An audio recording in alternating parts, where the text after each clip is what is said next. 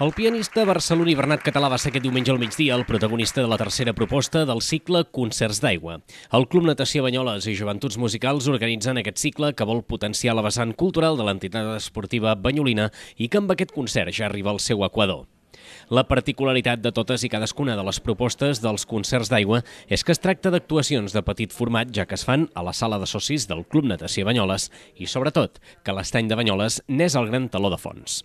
En aquesta tercera proposta del cicle, la primera d'aquest 2020, Bernat Català va optar per un programa romàntic amb llenguatges molt diferents.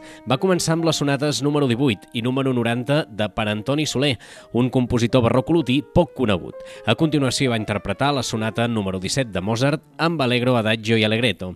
Víctor Cordero i la seva Spiegel Toccata van formar part també d'un programa que es va cloure amb el preludi Coral i Fuga del compositor belga César Frank. En definitiva, perspectives diferents del romanticisme en la música.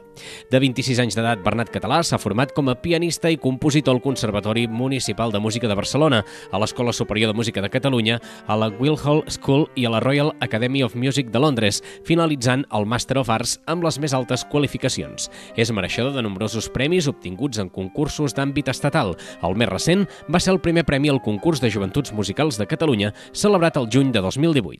El concert va acabar, com és habitual, amb un petit refrigeri per tots els assistents.